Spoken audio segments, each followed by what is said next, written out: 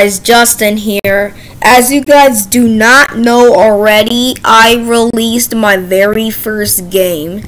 It is called Trackmaster Thomas and Friends Racing. And I'm going to teach you guys how to access the game. So first, if you you got open Roblox, if you have don't have a Roblox account and installed the game, then I highly recommend you like make a Roblox account. This is because this is the only way you can actually play the game. It's on Roblox, all platforms, by the way. So first, you're gonna go to search people, and you're gonna type in Justin Christopher underscore zero three. And press enter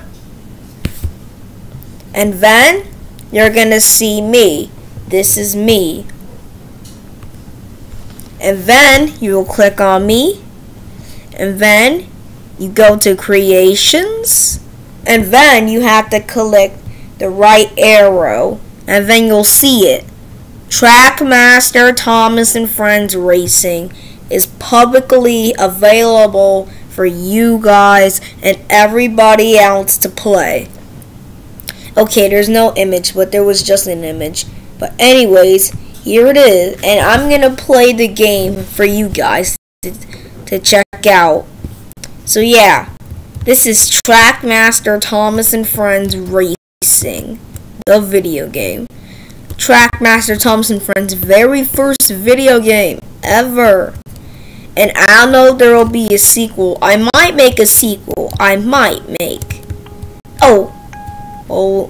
oh okay. This model's from like the like the Thomas Simulator game. I don't know what it's called.